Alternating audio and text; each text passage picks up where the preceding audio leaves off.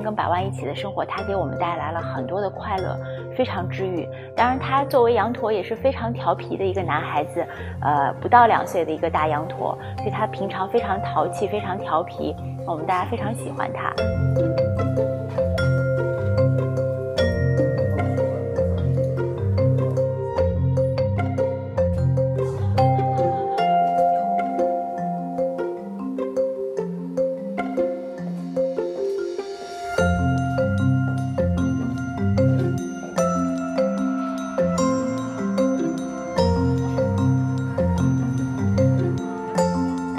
羊驼作为宠物的还是比较少，所以网上的粉丝都非常好奇养一只羊驼作为宠物，特别是办公室宠物是一个什么样子的。